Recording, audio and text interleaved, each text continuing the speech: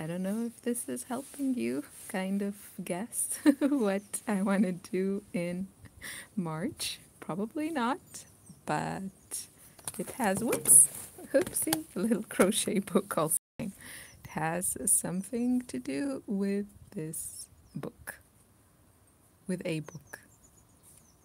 Leave your guesses below. There's a cat.